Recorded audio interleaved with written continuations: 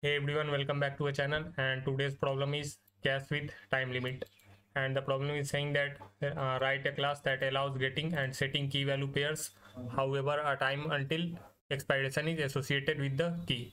And we have to write a class for this. And this class consists of three methods. One is set another is get and the next is count and the set method accepts three parameters key value and duration. And which accepts an integer key an integer value and duration in milliseconds. And once the duration has elapsed the key should be inaccessible. And the method should return true if the same unexpired key already exists and false if it doesn't exist. And both the value and duration should be overwritten if key already existed. So in simple terms if key existed we should return the value. If key is not existed we should return false. And if key is existed and we uh, we are calling next time set and with the same key it should update the new value and duration should be reset to the new duration. And the next method is get and it is accepting key as parameter which is also int. And if an unexpired key exists it should return associated value. Otherwise it should return minus 1 and the next method is count which should return the count of unexpired keys. And let's move to the example. The example is we are calling this set get count and get first. We created our cache and then setting this value. One is key 42 is value and duration is 100 milliseconds. So yeah at t equal to 0 cache is constructed. At t equal to 0 next 0 uh, key value pair. One is associated with 42 and the duration is set to 100 milliseconds. After this 100 milliseconds the key get inaccessible. And at t equal to 50 we are just getting the value and it will return us 42 and the next count and the count is at 50 milliseconds. So yeah it should give us one. So because we have only one key and the next get the next get is called at 150 milliseconds. But after 100 milliseconds this key is inaccessible. So it will return minus one. So let's mm, begin the code part. So let's first delete all this let's clear all this and first we need to write our class. And whose name is time limit cache and inside our class we are creating a constructor.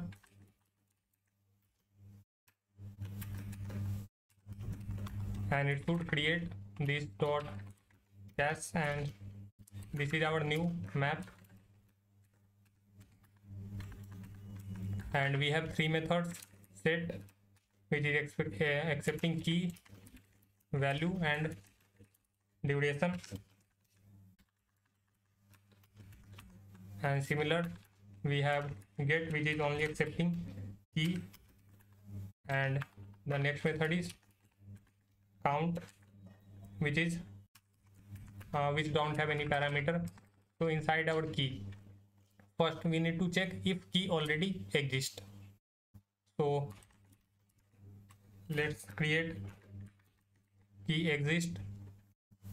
And also yeah so if key key exists and initializing it with this dot this dot cache dot get this is uh, this get is our map method. So yeah and passing it key and it will be undefined if this is not existed. And if existed it will give us the value associated with this key. And then checking if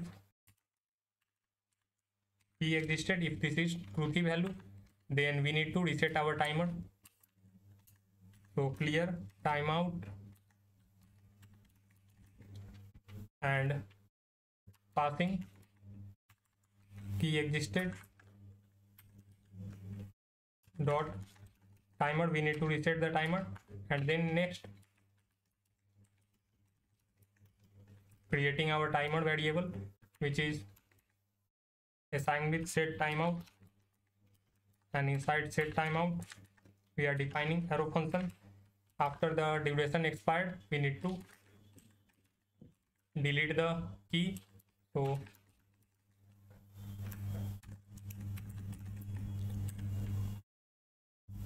and next parameter will be duration which is passed here and it is in milliseconds. And then next we are setting the key.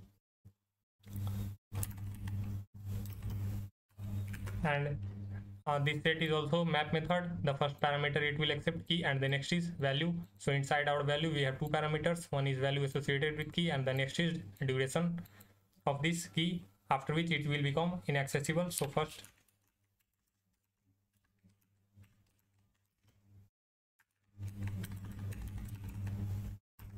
uh, we are passing it new timeout which is set timeout and this function after the timeout expired it this will trigger and delete the key.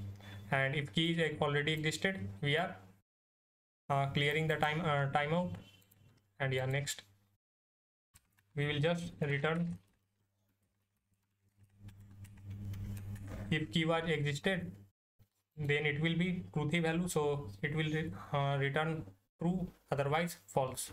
So just key existed and yeah it should work fine and inside the key method uh, sorry inside get method if key has value it should return the value otherwise minus one as mentioned in the question so return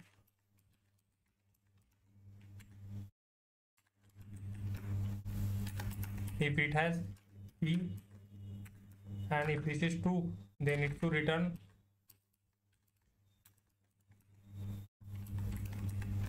getting our value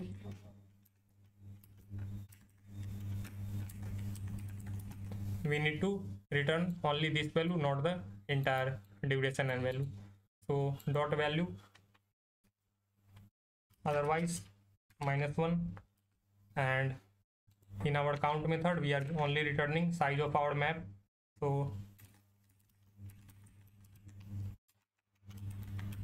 this dot cast dot size okay and let's run our solution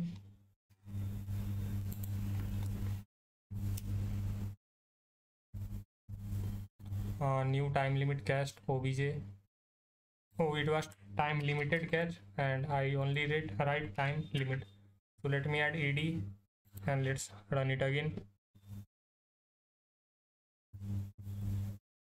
yeah it worked and let's also submit it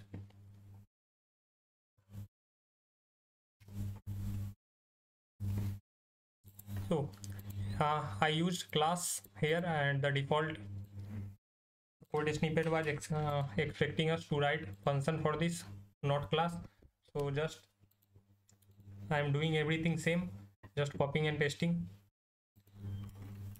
So this was our class. So inside count i'm pasting this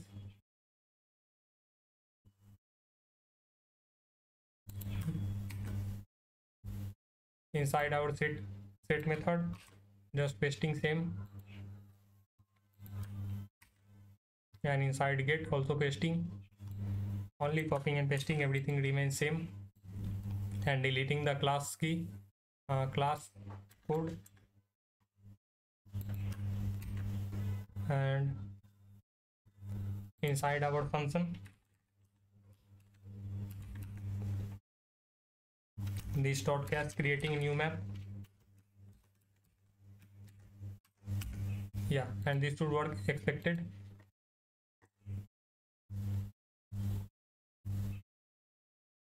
Yeah it also passed. And uh, now let's write on this. So first we are creating an instance and then uh, calling set method and passing it one key 42 as value and 1000 as timer. So it will be first checking if this dot cache dot key and getting this. If this is a truthy value then we need to clear the previous timeout and set the new timer for this because if we don't clear the previous timer, uh, timer and if it was let's say 100 milliseconds. So after 100 milliseconds it will become inaccessible but if we are again setting same let's say